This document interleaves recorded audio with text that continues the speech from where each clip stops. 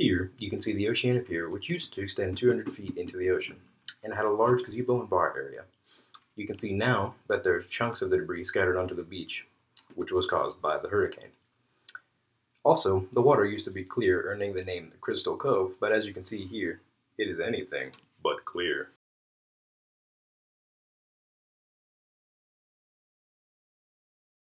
Here, we have a picture of what the Oceana Pier looked like before the disaster.